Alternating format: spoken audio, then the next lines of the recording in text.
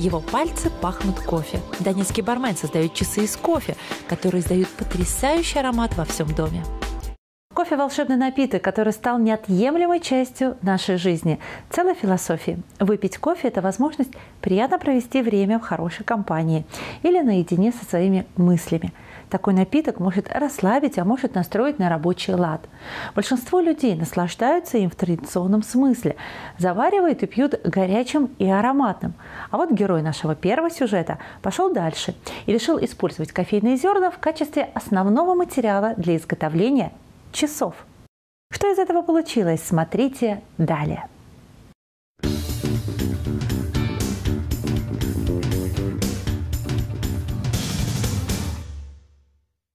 В жизни Алексея Декайра существуют две большие страсти – часы и кофе. Механизмы он полюбил еще в детстве, а вот увлечение благородным напитком стало для мужчины профессией. Проработав много лет барменом, сегодня о кофе Алексей знает практически все.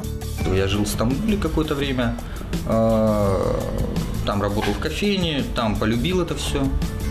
Начал любить, точнее, мне привили, скажем так, любовь к кофе даже не как к продукту, а как к философии кофе как, как сам продукт, он впитывает в себя энергетику. То есть нельзя обходиться кощунственно, скажем так. Он ответит тем же.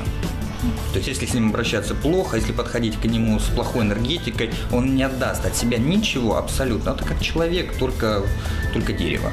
По-моему, кофе это время, мы тратим время, чтобы выпить кофе, мы выделяем время, чтобы выпить кофе, мы ускоряем время, мы...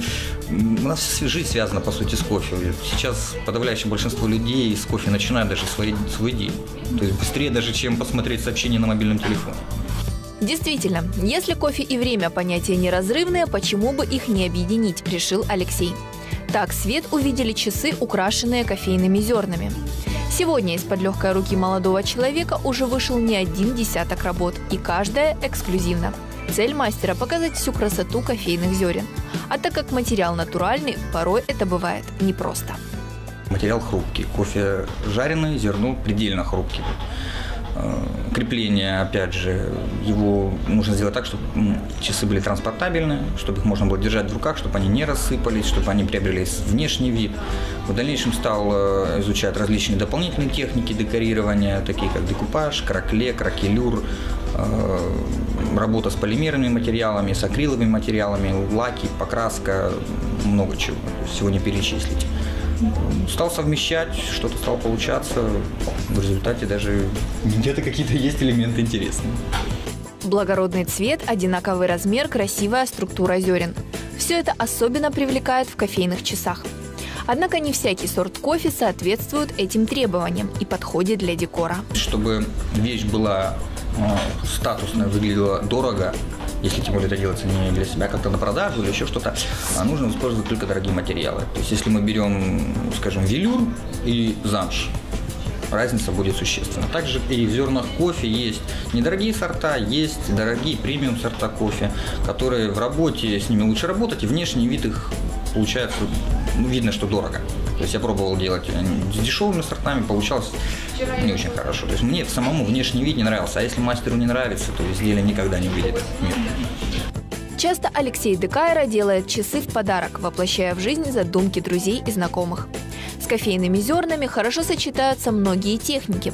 Однако есть вещи, которые, по мнению мастера, несовместимы с таким благородным материалом. Кофе, материал очень старый, история кофе насчитывает более 10 веков. И электронные часы, например, цифровые, я не думаю, что будут актуальны с отделкой кофе. Мне предлагали сделать отделку системного блока полностью в кофе.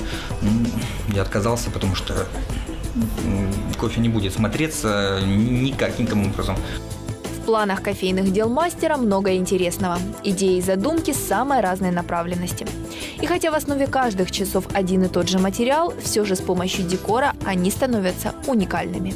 В планах отображения часов с 24-часовым циферблатом, то есть сутки э, с одним ходом, с одним кругом, а, с несколькими циферблатами, а, различные отображения времени. Ну, я думаю, это будет что-то большое. Сейчас я работаю над э, часами картиной, они будут длинные скажем так.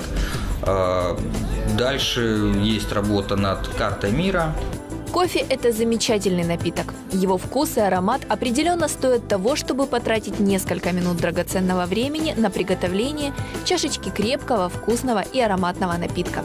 И тем самым доставить удовольствие своим друзьям, близким и любимым. А получить кофейный подарок для истинного ценителя – настоящий праздник.